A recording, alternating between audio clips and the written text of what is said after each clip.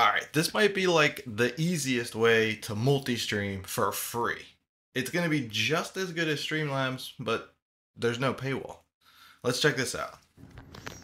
Alright, we now have the option on Meld Studio to simply just click this button for multi-canvas, close it out. Now we have canvas for vertical, canvas for horizontal, as well as being able to set all of your outputs. As you can see here, Twitch is in full screen, YouTube's in full screen, TikTok is in vertical.